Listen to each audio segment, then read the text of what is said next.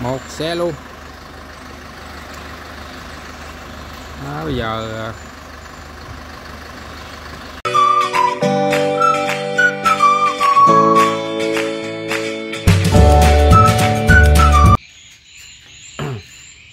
kính thưa bà con sáng nay chúng tôi ờ, ship trường hương nha.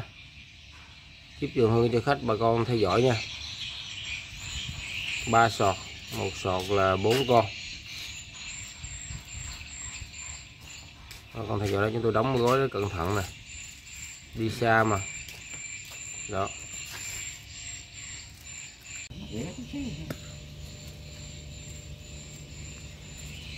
Không ai dặn đừng cho ăn à?